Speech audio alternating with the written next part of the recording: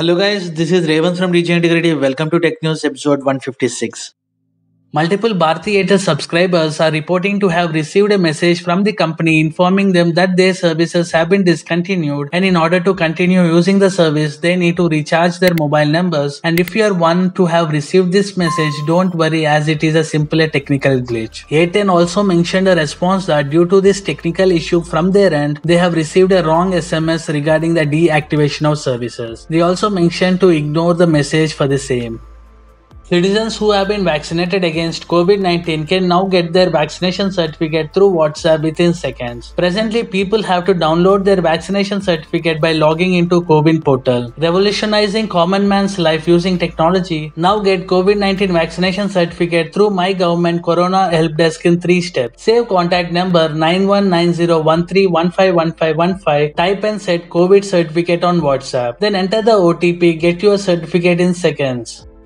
The Asus ROG Strix G15 Advantage Edition gaming laptop has been launched in India. The new variant of Asus RGB LED Overload Edition gaming laptop now features the best processor and graphics chips from the AMD stable and makes for one of the most premium new generation gaming laptops in the market. The ROG Strix G15 Advantage Edition is priced at rupees 1,54,990 Indian rupees and will be made available only on one SKU in India. The laptop will be up for sale via Asus ROG store for an Asus authorized retailer, e-commerce platform Flipkart and multi-brand retailers like Reliance Digital, Croma and Vijay Sales. The Asus ROG Strix G15 Advantage Edition will be available from August 11. Krafton has accidentally revealed the Battlegrounds Mobile India iOS release date on the official website of Battlegrounds Mobile India. According to the information available, Battlegrounds Mobile India iOS release date is set for August 20th. Motorola Edge 20 and Motorola Edge 20 Fusion are set to launch on August 17th at 12 pm in India. Both the models are 5G capable and these smartphones run Android 11 out of the box. Motorola Edge 20 comes with a Snapdragon 778 processor, 108 megapixel camera and a 32 watt fast charging support. Nokia C20 Plus has been launched in India. Nokia C20 Plus specifications include a 6.5 inch HD Plus display, Unisoc SC9863A processor, Android 11 and 8 megapixel camera. Nokia C20 Plus price in India starts at Rs 8999. Realme Book Slim has been teased by the company. The laptop will come with a USB Type-C port for charging instead of barrel pin port. Realme Book laptop is expected to launch on August 18th alongside with the Realme GT series.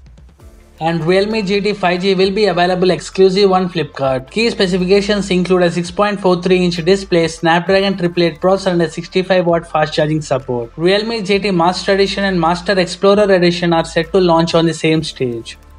The Redmi K40 Gaming Edition, like many other gaming phones, has a multicolor LED. For the Redmi gaming phone, the lights are built around the camera housing. The manufacturer is now rolling out an update that allows users to customize the lights. Just a few days ahead of the Samsung Galaxy Unpack event, Samsung dropped a gem on its Instagram account by showing a sneak peek of the long rumored Galaxy S21 Fan Edition. The device appeared in the back to school ad alongside a Galaxy Book laptop and what it looks like the Galaxy Buds Pro earphones. The interesting bit is that the latest rumor suggests that S21 Fan Edition is postponed and will launch all the way in October. Samsung is known for many innovative smartphones. The Samsung Galaxy S9 and S9 Plus were the first mainstream phones to come with a variable aperture camera. The firm's new utility patent demonstrates a new solution which not only enables variable FOV but also the variable aperture. Samsung Electromechanics filed a utility patent title called as Camera Module and Portable Electronic Devices, including the same with the United States Patent and a Trademark Office and the World Intellectual Property Organization in October 2020. The 19-page demo demonstration for this patent was initially released on August 5, 2021. The patent sketches and images uses a triple camera setup consisting of wide angle snapper, an ultra wide unit, and a telephoto shooter. Users can move this camera via touch input. MI Mix 4 new teaser image confirms the under display selfie camera. The leaked renders show it will come with a triple cameras and a black color options. Mi Mix 4 specifications could include a 6.67 inch display, Snapdragon 888 Plus processor and a 108 megapixel primary camera.